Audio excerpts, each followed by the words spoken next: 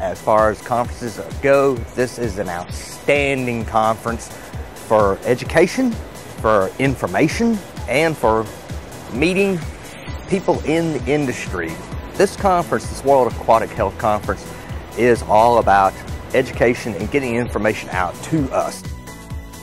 I have come to this conference for the first time and have enjoyed it immensely. All the seminars have been very informative. I've got a chance to meet a lot of new people and the topics are very critical to what I do. Really enjoyed the World Aquatic Health Conference this year. Uh, I was here with the purpose of disseminating information about Aquastretch and found it a wonderful opportunity to meet with all sorts of people from research as well as people who are actively involved in community aquatic programs and all those things will tend to help disseminate an exciting new technology.